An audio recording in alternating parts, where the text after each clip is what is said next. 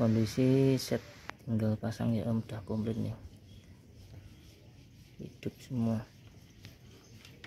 Visit chrome tergolong celing ada minus salah satu sen ini. Cuma ini. Lainnya oke. Chrome ya ya. Juga chrome. Link masih mulus penting data ini aman. Komplit sama baut